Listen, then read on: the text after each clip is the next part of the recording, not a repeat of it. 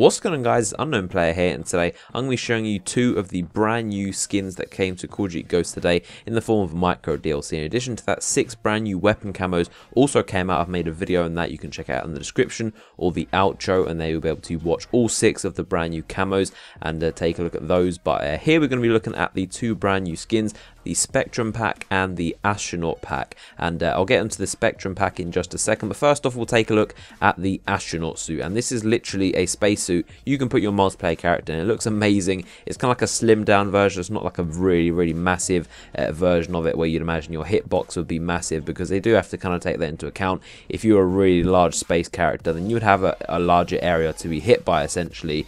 And uh, it does look so cool. Like the actual visor helmet is just pure black, so you can't see the face and uh, it just looks really strange to see someone actually walking around in an astronaut suit. I would have never imagined to actually see this in Call Ghost multiplayer and uh, in most cases the thing about this is that it's really not going to do you any favors because you are a giant white glowing suit that's running around very large very obvious and it's not very good for camouflage on the majority of maps in Ghost which tend to be very very dark you'll be able to see this guy coming a mile away very very easy to spot as opposed to most of the other camos and uh, characters which are quite slim and they've also got some camouflage on them to uh, blend in. They change with every map. But this thing is very, very obvious. And uh, obviously, it's going to be a lot of fun to use. But you do have to consider in games like Search and Destroy, if you want to play kind of more competitively or seriously, you're going to be sticking out like a sore thumb. So do take that into account. This is nevertheless an awesome, awesome piece of DLC. And uh, do let me know what you think about this astronaut suit. Will you be picking up or not? And, uh, and then moving on, we can see the Spectrum pack. Now, there's a lot of confusion around this.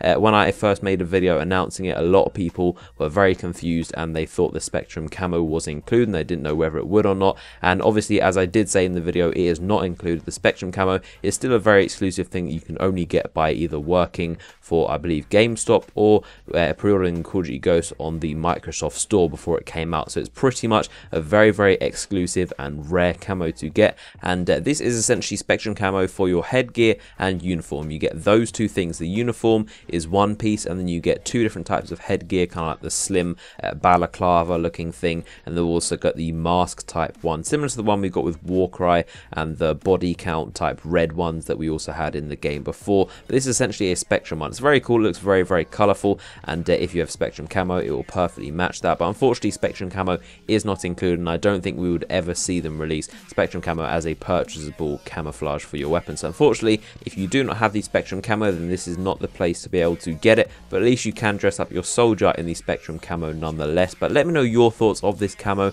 and uh, do the video a like if you enjoyed it and feel free to check out the other video I've made on the brand new 6 camos added to Call of Duty Ghost. If you're interested in buying some cheap PC games as such as Advanced Warfare, you can pre-order that very very cheap on g2a.com. I'll put a link in the description and also things like Xbox Live codes, PSN codes and stuff like that. So hopefully you enjoyed the video and I'll see you guys later.